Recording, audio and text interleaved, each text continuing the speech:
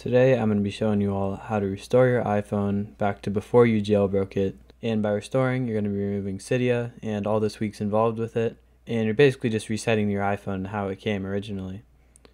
So if you have any important data on your iPhone, make sure that you back it up first. Also, make sure you turn off Find Your iPhone or else you won't be able to restore your phone. And once you meet that criteria, all you need to do is plug your device into either a Windows computer or a Mac and open up iTunes. Then you want to sync your computer with your phone, and all you need to do is click Trust on your phone, type in the passcode, and then just click on Next on your laptop. You should see a prompt like getting started with this iPhone or something similar to that.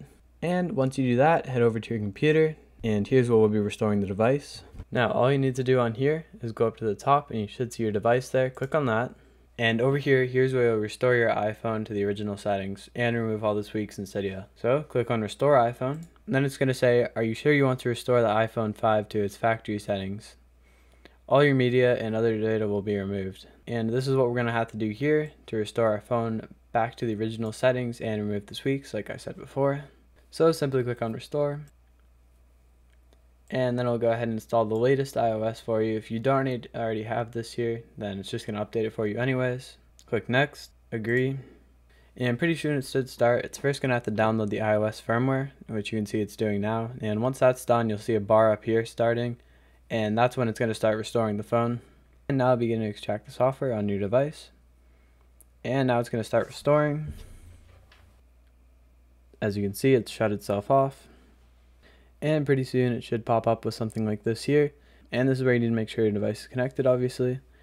And you can now see it's preparing the iPhone for restore and the other screen is now gone and now you should see an apple and there should be a loading bar below this pretty soon and this step right here is going to take more or less time depending on the type of phone you have and the power of your computer and as we can now see the device has been restored to factory settings and now it's going to go ahead and reboot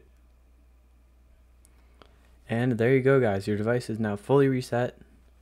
And there should be nothing left on it. No tweaks no data no nothing.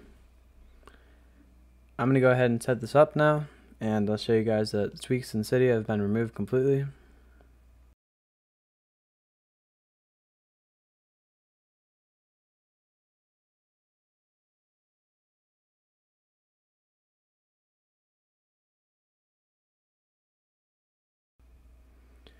And there we go. Cydia is now removed and all of our data is completely restored to um, basically nothing. And over on our computer, we can now continue with the setup here. Set up as new iPhone or restore from a backup if you guys made one and you want to use that. That backup will not carry over any tweaks, so that is fully safe to use. And there we go. I'll just go ahead and show you guys real quick in 3U Tools that this is no longer jailbroken. And as you can see, jailbroken status is now no. So thank you all so much for watching and I hope I helped you all out. If you have any recommendations or if you had any troubles at all, leave a comment down below and I'll make sure to get back to you as soon as I can. And also feel free to leave any video ideas down below. I'll definitely want to cover those at some point or other. Have a nice day guys.